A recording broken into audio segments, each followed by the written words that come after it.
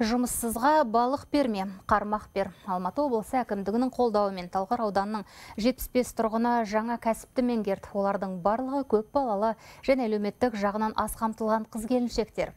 Отбасының ұйытқысы болған жандар бүгін екі айлық курсты аяқтап сертификаттарын алды. Ақжан Смағұл алты баланың анасы. Визажисті көптен бері оқығысы келген екен, бірақ сәті түспепті. Талғардағы берекелі жанұя әлеуметтік орталығында курс ашылатынын естіген соң бірден жазылған. Өзі екі ай бойы Тұздыбастау ауылынан қатынап тұрған.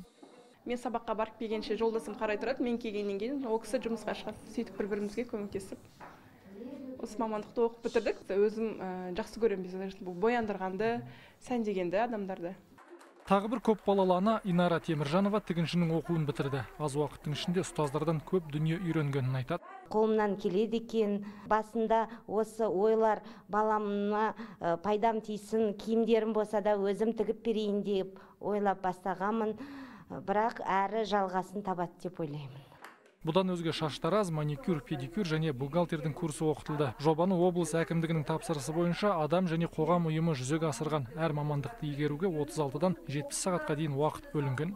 білесіздер қазір енді нарықта курстың бағасы өте жоғары а бұл, бұл жерде барлығы тегін беріледі содан кейін курсты өткізген мамандардың квалификациясы да жоғары біз соны өзіміз таңлап себебі он жылдық тәжірибе бар болғаннан кейін бізде ол оның барлығы жақсы есептелінеді Жоба тек үйретіп сертификат берумен шектелмейді. Адам және қоғам ұйымы жаңа мамандықты меңгерген қыз келіншектердің жұмысқа орналасуына және өз кәсібін ашқысы келетіндерге ақпараттық әрі заңдық кеңес береді. Ұлан Нарынбек, Эдуард Кон, Хабар 24, Алматы облысынан.